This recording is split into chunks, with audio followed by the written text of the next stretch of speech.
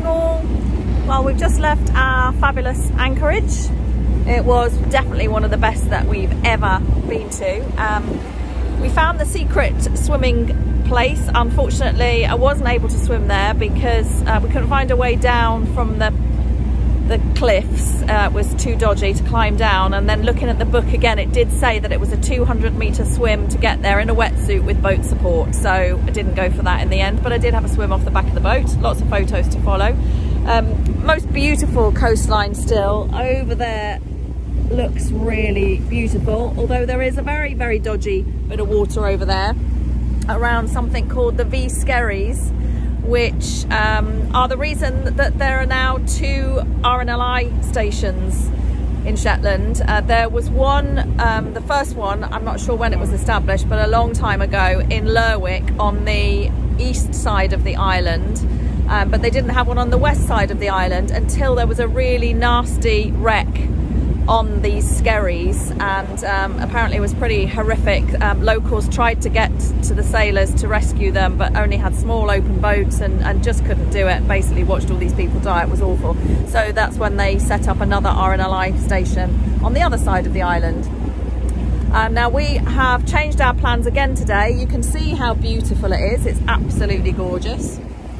Wall to wall sunshine, barely a cloud in the sky but don't be fooled because there is weather on the way. So we're trying to make as much progress as we can over the next couple of days. We were going to take it a little bit slower and stop off at more places, but we have decided that we would like to get into Lerwick um, into safety before the 40 mile an hour winds arrive on Thursday. So we're going up round the very top today. It's quite a long leg today. Um, up round um, Muckle Flugga and Outstack and then uh, back round to um, Lunna Voe to have uh, lunch. Lunna Voe is the first place where the Shetland bus set sail from uh, before it was moved to Scalloway. So that was somewhere that we really wanted to see. Um, and then we're off to, what's it called? Where are we staying tonight? Lunna Voe's tomorrow. Oh, Lunna Voe's tomorrow. Oh, I got that wrong. Oh, Lunna Voe's tomorrow. And then Outstack and then Balta Sound tonight. Lunna Voe is lunch tomorrow. it's a good job one of us knows where we're going, isn't it? um, yeah, so that's us today. And um, we are hoping we're going to have enough wind to sail. We've got the mainsail. Oh, you can see it. Uh, the mainsail. Mainsail's up already, but we're motor sailing. It is coming, we believe. Um, so far we've got a nice flat sea, relatively speaking. And um, looking forward to a day of sunshine. Speak to you later. Going around Muckle Flugga and Outstack is a bit of a planning exercise because of tides and what they call roosts, which is the local term for tidal races. There's a tidal race which forms near Muckle Flugga and Outstack, and there's another over by where waypoints 7 and 8 are, which is the Holm of Skaw and Lamba Ness. Um, there's a really interesting note in the Clyde Cruising Club sailing directions, which is worth a read, it says Lamba Ness lies on the north side of the entrance to Norwick at the northeast of Unst. The Skaw Roost forms between there and the Holm of Skaw, one mile north-northwest.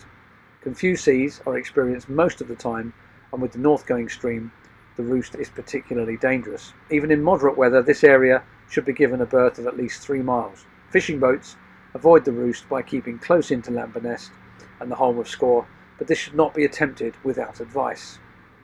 So I wanted to look at that and see whether or not we could make it so that we could cut in safe and go close in and save probably five or six miles on going around the outside by a three mile radius, bearing in mind that I was heading for Balta Sound, which meant I was coming back in from that three miles out that I'd had to go. To do that, we had to work out the time to arrive so that we had the best possible chance of being able to visually check the roost and go around the inside.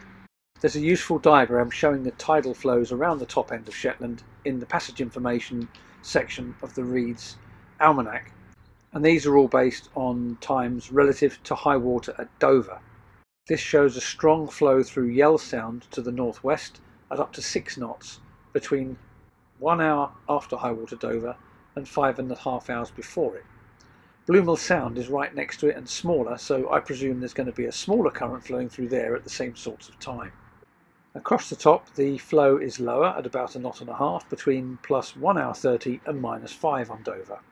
These are all reversed for uh, southbound flow, minus 5 to plus 1 for the two sounds, and across the top we have minus 4 to plus 30, which means that across the top there's about an hour when there's slack water. The trick then is to arrive at waypoint 6, 7 and 8 at a time when the water is slack.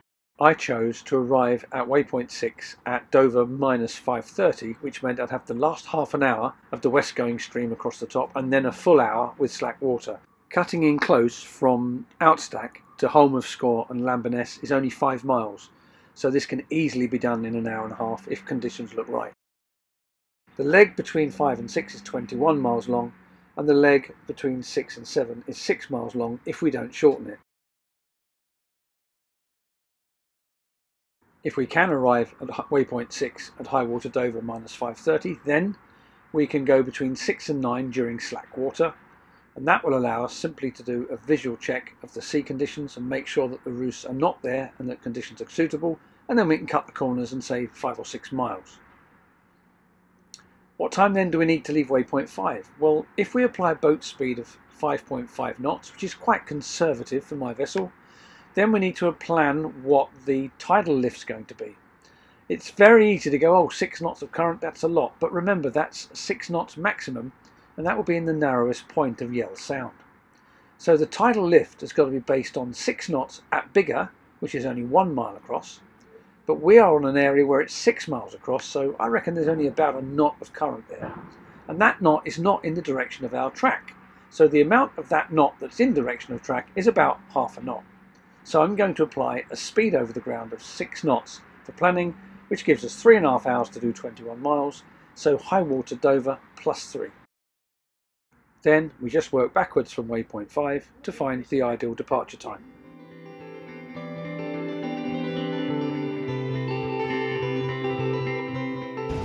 It's a really exciting moment because we are just about to go past the northernmost part of the United Kingdom. Um, on your right there, you can see the island with the lighthouse on the top. Um, that is Muckle Flugga. And to the left, a little bit, is the most northernmost part. The most northernmost, no, the most northern part, which is uh, Outstack. So Outstack um, is always has always been completely uninhabited. Um, Flugga was was inhabited and was the, the most northerly um, inhabited island in the British Isles up until 1995 when the um, residents from the lighthouse moved out. Muckle means big and Flugga is from the Nordic Fluga um, which means cliff island.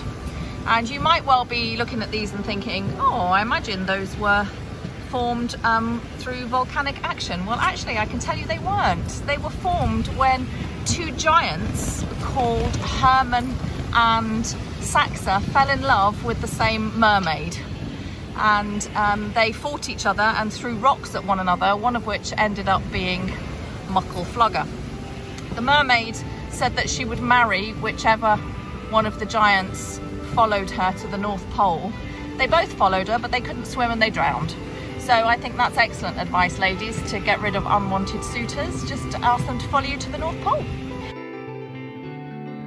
When we arrived at Beam Muckle Flugga, it was really obvious that the roost was not going to be a problem between it and Outstack, so we turned just north of Outstack, and from there we could clearly see the Holm of Skaw see that the water was clear there so we headed for Holm of Skaw, keeping the option to turn to the north if anything started to cut up, and we were able in the end to turn directly to Lamba Ness around the inside track and save about six miles.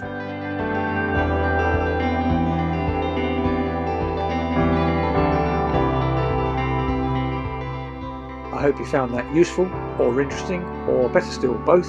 And as always, please do hit the bell icon, hit subscribe, hit like. All of these three things really help the channel to grow do come back soon.